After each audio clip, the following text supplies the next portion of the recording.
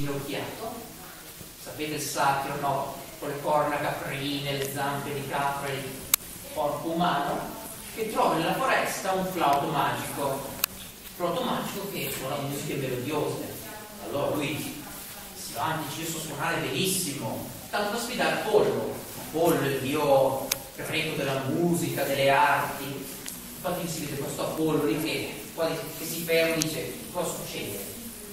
Po' scompigliato con questo trappeggio viola, vede che Marsia raccoglie il flauto. Qui sopra si vede Marsia che suona, Apollo lì che ascolta con la sua cetra, Apollo che siede, ascolta con la sua musica e dietro eh, Mars si vede re Mida, re che è leggendario che viene ripreso in molti miti classici. Qui si vede la scena in cui Apollo, dopo aver suonato, viene coronato da loro, quindi ha vinto la sfida, e Mars è lì che dice, vabbè, perso. Però c'è un problema. I due sfidanti, prima di, di fare la sfida, hanno fatto una scommessa. Chi perdeva diventava servo dell'altro.